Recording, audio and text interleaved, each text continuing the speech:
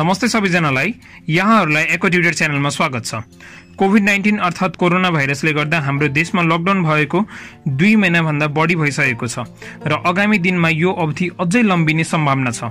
त्यसैले यो बेला सबैजना घरमा बस्नु भएको छ र यो लकडाउनले सबैभन्दा धेरै असर विद्यार्थीलाई गरेको छ र समय बिताउन नि गाह्रो भइरहेको छ। त्यसैले म आज यस भिडियोमा विद्यार्थीले लकडाउनको अवधिमा गर्नुपर्ने सातवटा निकै नै राम्रा र युजफुल कामहरूको बारेमा बोल्नेछु जसले गर्दा समय नै बित्नेछ र केही नयाँ ज्ञान हासिल हुनेछ। त्यसैले भिडियो अन्तिमसम्म हेर्नुहोला र तपाईँले भिडियो कस्तो लाग्यो आफ्नो प्रतिक्रिया चाहिँ कमेन्ट बक्समा कमेन्ट गर्नुहोला। र साथै भिडियो मन परेमा लाइक गर्नुहोला र साथीहरूमाझ पनि सेयर गर्नुहोला। अब यस भिडियोको सुरुवात गरौँ। हरेक दिन बिहान बिहान उठेर सबैभन्दा पहिला योगा र मेडिटेसन गर्नु। योगाले तपाईँलाई फिजिकली फिट राख्छ भने मेडिटेसनले तपाईँलाई मेन्टली फिट राख्छ। योगा र मेडिटेसनको थुप्रै फाइदाहरू छ। र त्यो बेनिफिटहरू पढ्नको लागि गुगलमा जानु र त्यहाँ चाहिँ योगा र मेडिटेसन बेनिफिट सर्च गर्नुभयो भने तपाईँ डिफ्रेन्ट आर्टिकलहरू पढ्न सक्नुहुन्छ त्यहाँबाट। बिदा एक दिनसम्म भयो भने ठिक्क हुन्छ। तर त्यही बिदा दुई महिनासम्म भयो भने तपाईँले बोर लाग्छ लेजी फिलिङ आउँछ। त्योबाट मुक्ति पाउनको लागि तपाईँले डेली योगा र मेडिटेसन गर्नुपर्छ। अहिले हामी ट्वेन्टी फर्स्ट सेन्चुरीमा बाँचिरहेछौँ र यो सेन्चुरीमा चाहिँ हामी टेक्नोलोजी फ्रेन्डली भइसकेका छौँ र यो टेक्नोलोजी फ्रेन्डलीले गर्दा हामी चाहिँ योगा र मेडिटेसनलाई भ्यालु गर्दैनौँ। तर योगा र मेडिटेसनले हाम्रो लाइफमा चाहिँ डिफ्रेन्ट चेन्जेसहरू ल्याउने गर्छ। जस्तै अल्छी पाना छ भने त्यो अल्छीलाई चाहिँ रिमुभ गर्छ योगा र मेडिटेसनले गर्दा। सो सबैजनाले योगा र मेडिटेसन गर्नुपर्छ। दोस्रो काम चाहिँ पढ्न बानी बसाल्नुहोस् सबै दिन एक घन्टा वा आधी घन्टा कुनै पनि आर्टिकल्स अथवा किताब पढ्नुहोस् र त्यो किताब पढ्ने बेला जहिले पनि आफूलाई हेल्प हुने किताबहरू पढ्नुहोस् सेल्फ हेल्प जनरमा भएको किताबहरू पढ्नुहोस् जस्तै रिच ड्याड पुवर ड्याड त्यस्तै how to influence people and friends यो किताबहरू पढ्न सक्नुहुन्छ। रिच ड्याड पुवर ड्याड पढ्नुभयो भने त्यहाँबाट तपाईँ फाइनेन्सियल इन्टेलिजेन्सको कुरा सिक्नुहुन्छ। जुन चाहिँ कुनै पनि स्कुलमा पढाइ हुँदैन। सबै स्कुलमा पैसा कमाउनु सिकाइन्छ तर पैसाले कसरी पैसा बनाएर दिन्छ त्यो चाहिँ सिकाइँदैन। त्यो चाहिँ तपाईँ त्यो बुकबाट सिक्नुहुन्छ। र त्यस्तै अर्को किताब चाहिँ how to influence friends and people त्यो बुकबाट तपाईँ कम्युनिकेसन स्किल सिक्न सक्नुहुन्छ। त्यस्तै अरू अरू थुप्रै किताबहरू छ। त्यस्तो किताबहरू तपाईँ पढ्नुहोस्। नोभल्स र स्टोरिजतिर नलाग्नु किनभने नोभल र स्टोरिजबाट तपाईँ केही गेन गर्न सक्नुहुन्छ। जस्ट एउटा स्टोरी मात्रै पढ्न सक्नुहुन्छ। अब अहिलेको बेला एउटा समस्या आउन सक्छ। तपाईँहरू पसलमा गएर किताब किन्न सक्नुहुन्न। त्यसै पनि पसल भिजिट गर्नु पर्दैन। थुप्रै वेबसाइटहरू छ जहाँबाट तपाईँ फ्रीमा किताबहरू पढ्न सक्नुहुन्छ। तीमध्येको मलाई एउटा वेबसाइट थाहा छ जहाँबाट तपाईँ राम्रो राम्रो किताबहरू फ्रीमा पढ्न सक्नुहुन्छ। गुगलमा जानुहोस् र जेड लाइब्रेरी सर्च गर्नुहोस्। जेड लाइब्रेरीबाट तपाईँ राम्रो राम्रो किताबहरू पढ्न सक्नुहुन्छ। र तपाईँलाई योभन्दा पनि राम्रो साइट थाहा छ भने कमेन्ट बक्समा गएर त्यो साइटको नाम मेन्सन गर्नुहोला। त्यसले गर्दा अरू अरू साथीहरूलाई पनि हेल्पफुल हुनेछ। डिफ्रेन्ट सेक्टरहरूको आर्टिकल पढ्नु। त्यो आर्टिकल पढ्नको लागि गुगलमा जानु होला र त्यहाँ चाहिँ गुगल स्कलर सर्च गर्नु। र गुगल स्कलर सर्च गरेपछि एउटा नयाँ सर्च इन्जिन आउँछ। त्यो सर्च इन्जिन भनेको आर्टिकलको लागि मात्रै बनाइएको छ। त्यो सर्च इन्जिनमा तपाईँ डिफ्रेन्ट आर्टिकल्सहरू पढ्न सक्नुहुन्छ। जति धेरै किताब पढ्नुभयो भने त्यति धेरै नै तपाईँ नलेज गेन गर्नुहुन्छ। र त्यो नलेजबाट तपाईँ पनि आर्टिकलहरू लेख्न सक्नुहुन्छ अथवा ग्रुपमा भएको बेला डिबेटहरू गर्न सक्नुहुन्छ। एउटा भनाइ पनि छ किताब पढ्ने मान्छेले थुप्रै मानिसहरूको जीवनको अनुभव लिन सक्छन् तर नपढ्नेले ती अनुभवहरू गर्दैनन्। त्यसैले जहिले पनि एउटा टार्गेट राख्नुहोस्। यो किताब मलाई यति दिनमा सकाउनु छ अनि मात्र तपाईँ थुप्रै बुकहरू पढ्न सक्नुहुन्छ। तेस्रो काम चाहिँ सेयर मार्केटको बारेमा जानकारी लिनुहोस्। तपाईँले सेयर मार्केट सुन्नुभएको छ तर सेयर मार्केटमा कसरी लगानी गर्ने र सेयर मार्केट कसरी चल्छ यी सबै जानकारी छैन भने तपाईँले बेसिक ट्रेनिङ लिनुपर्छ। र बेसिक ट्रेनिङ लिनको लागि हाम्रो अर्को च्यानल छ सेयर मान्डु भन्ने च्यानल छ। त्यो च्यानल भिजिट गर्नुहोस् जहाँ तपाईँ सेयर मार्केट सम्बन्धित बेसिक ट्रेनिङ लिन सक्नुहुन्छ। त्यो च्यानलको लिङ्क चाहिँ डिस्क्रिप्सन बक्समा दिइएको छ त्यहाँबाट तपाईँ सेयर मान्डु च्यानल भिजिट गर्न सक्नुहुन्छ। सेयर मार्केटको नलेज कुनै पनि स्कुल अथवा कलेजमा दिइँदैन। यो कुरा चाहिँ रिच ड्याड पोवर ड्याडमा गरिएको छ। रिच पोवर ड्याडमा फाइनेन्सियल इन्टेलिजेन्सको कुरा गरिएको छ। र यो सेयर मार्केट चाहिँ फाइनेन्सियल इन्टेलिजेन्सभित्र पर्छ। फाइनेन्सियल इन्टेलिजेन्स कुनै पनि कलेज अथवा स्कुलमा पढाइ हुँदैन। त्यसैले यो किताबहरू पढ्नुभयो भने त्यहाँबाट तपाईँ फाइनेन्सियल इन्टेलिजेन्सको कुराहरू सिक्न सक्नुहुन्छ। लकडाउन खोल्न बित्तिकै थुप्रै कम्पनीहरूको आइपिओ आउँदैछ त्यसैले सेयर मार्केटको बेसिक ट्रेनिङ लिनुहोस्। र लकडाउन खोलिसकेपछि तपाईँ त्यो आइपिओहरू एप्लाई गर्न सक्नुहुन्छ। र यदि तपाईँले सेयर मार्केटको बेसिक कुराहरू थाहा भयो भने तपाईँ आइपिओको इम्पोर्टेन्स थाहा पाउनुहुन्छ। मेरो विचारमा तपाईँ जति चाँडो सेयर मार्केट इन्टर गर्नुहुन्छ त्यति नै राम्रो हुन्छ। You will grab the opportunity as soon as possible चौथो काम चाहिँ एउटा युट्युब च्यानल बनाउनुहोस् र युट्युब च्यानलमा कन्टेन्टहरू पोस्ट गर्नु तपाईँ जेमा इन्ट्रेस्टेड हुनुहुन्छ त्यसमा भिडियोहरू बनाउनुहोस् र त्यो युट्युबबाट तपाईँ अर्निङ गर्न सक्नुहुन्छ। तर जहिले पनि भिडियो बनाउने बेला निस कन्टेन्टमा फोकस गर्नुहोस्। कुनै पनि एउटा टपिकमा भिडियो बनाउनुहोस्। यो होइन आज मैले कुकिङमा भिडियो बनाएँ भने अर्को दिनमा एजुकेसनमा बनाउँछु। त्यसैले कुनै पनि एउटा पर्टिकुलर टपिकमा भिडियो बनाउनुहोस् र यो लकडाउनको टाइम सबैभन्दा एप्रोप्रिएट टाइम हो युट्युब च्यानल ग्रो गर्ने। किनभने सबैजना घरमा बसेका छन् र यो बेला तपाईँको च्यानल चाहिँ फास्टली ग्रो गर्न सक्नुहुन्छ। हुन्छ यदि तपाईँको कन्टेन्ट चाहिँ राम्रो छ भने र धेरै भ्यू आउँछ। त्यसैले एउटा युट्युब च्यानल बनाउनुहोस् र तपाईँ जेमा इन्ट्रेस्टेड हुन्छ त्यो रेलिभेन्ट कन्टेन्टहरू पोस्ट गर्नुहोस्।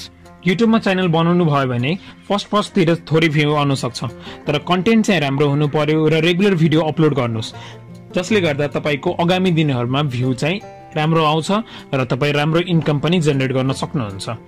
किनभने फर्स्ट फर्स्टतिर थोरै भ्यू आयो भने त्यहाँबाट डिप्रेस चाहिँ नहुनुहोस्।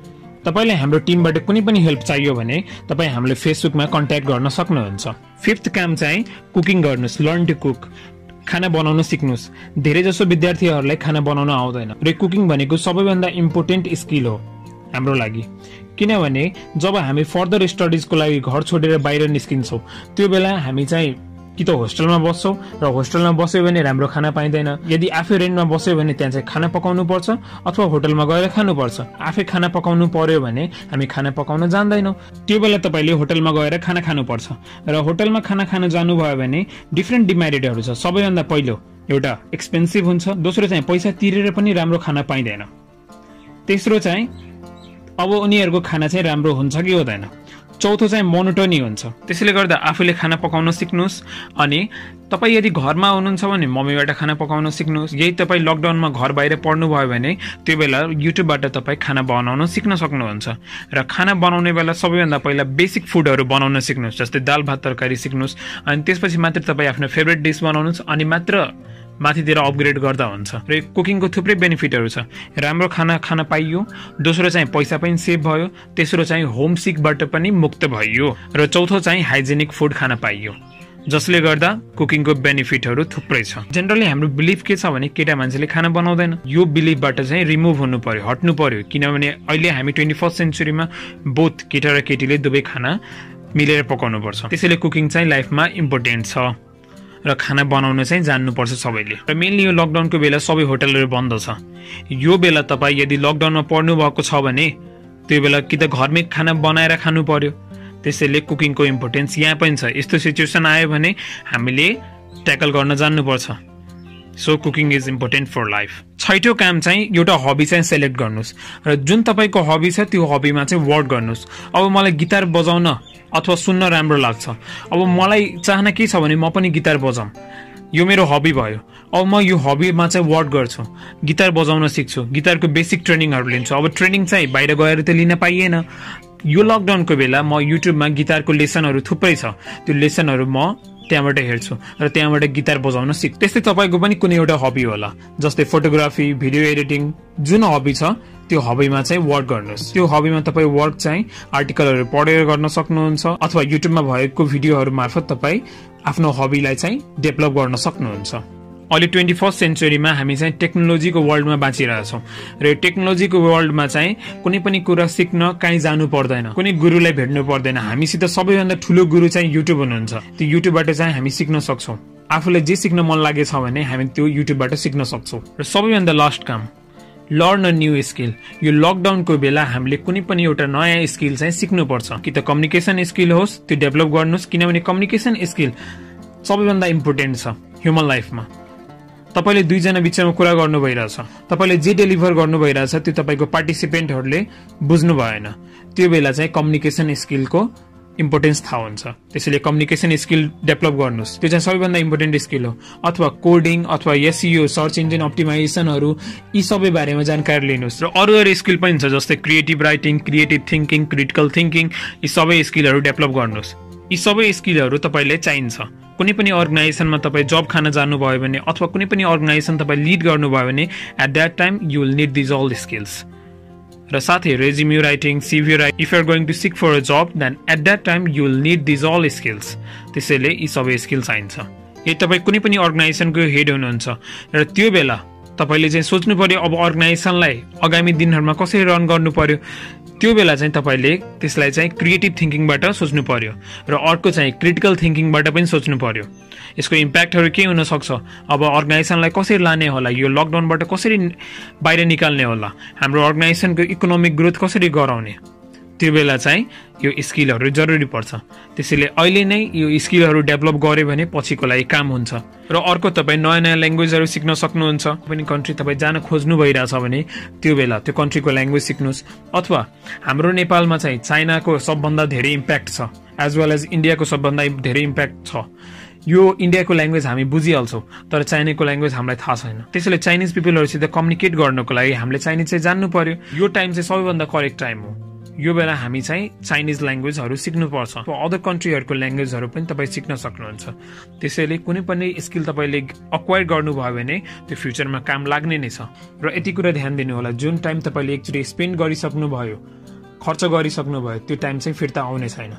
अहिलेसम्म तपाईँले जे गर्नुभयो त्यो म्याटर छैन। इट्स ओके फाइन यही तपाईँले यी कामहरू म गर्नुभएको छैन भने आजबाट स्टार्ट गर्नुहोस्। यो होइन कि भोलिबाट म गर्छु। त्यो गर्नुभयो भने त भोलि कहिले पनि आउँदैन।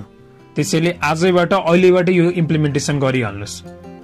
अहिले नै यो सातवटा कामबाट कुनै एउटा काम गरिहाल्नुहोस्। त मात्रै तपाईँले लाइफमा चाहिँ सक्सेस अचिभ गर्नुहुन्छ। हामीले पास्टको बारेमा सोच्यो भने त्यो पास्ट फिर्ता आउने छैन। त फ्युचरलाई चाहिँ हामी बनाउन सक्छौँ। त्यसैले अहिले नै आफ्नो फ्युचरको बारेमा सोच्यो। र आगामी दिनहरूमा थपिने लकडाउनहरूलाई चाहिँ सदुपयोग गर्नुहोला। यी सबै कामहरू गर्न साथ तपाईँ आफ्नो पढाइलाई पनि निरन्तरता दिनुहोला। अन्तिममा सबैजनालाई धन्यवाद। यो भिडियो अन्तिमसम्म हेरिदिनु भएकोमा र भिडियो राम्रो लाग्यो भने कृपया लाइक गर्नुहोला र साथीहरूमाझ पनि सेयर गर्नुहोला र सबैभन्दा इम्पोर्टेन्ट यो लकडाउनको बेला घरमै बस्नुहोला। बाहिर चाहिँ ननिस्किनु र यो लकडाउनमा बसेर सरकारलाई चाहिँ सपोर्ट गर्नुहोला। किनभने यदि हामी बाहिर निस्क्यौँ भने सरकारको लागि झन् प्रब्लम हुनेछ। बरु कामहरू हामी घरबाटै गर्छौँ। हामी चाहिँ अहिले टेक्नोलोजीको फेजमा छौँ र टेक्नोलोजीको सदुपयोग गरौँ। त्यसैले स्टे सेफ र हामी छिटै नै यो महामारीबाट चाहिँ छुटकारा पाउनेछौँ। त्यसैले stay safe and stay lockdown